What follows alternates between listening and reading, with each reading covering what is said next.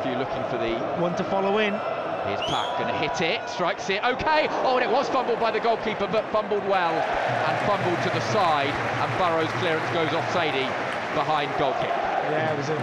Short to de Havilland. Peterborough still in possession inside their own half. Katongo's got a bit of space to bring it forward.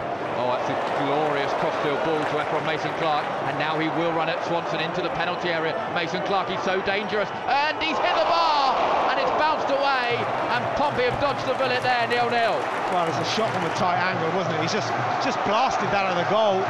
Not sure if he can pump it cheaply and fortunately get possession again. And there's loads of space down the left if Yengi can get the ball to him, but he can't. And Peter Harris is understandably frustrated.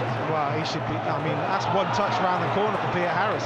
Now Mason Clark, the danger man for Peterborough, into the box. Pompey needing to be strong. Shot is fumbled by Norris and cleared away by Shaughnessy. Mason Clark up against Swanson, and Swanson sticks to his task, but Pompey can't win possession because he's too strong. Well, they won it, but Peter Harris gave it straight back to them.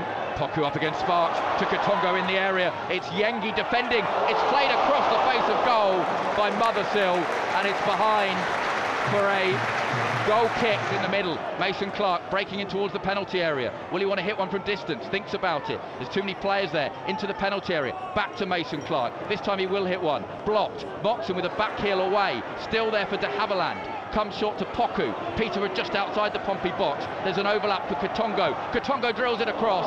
Swanson, uh, Shaughnessy clears it away, and Pompey might be able to think counter-attack, and the ball's fired forward. And Whyte, can he get there ahead of Knight? He can. What can Whyte do? He needs to play a pass on the left to Yengi. He's one-on-one with the last defender. Kusini Yengi for Portsmouth. Yengi, he's done it!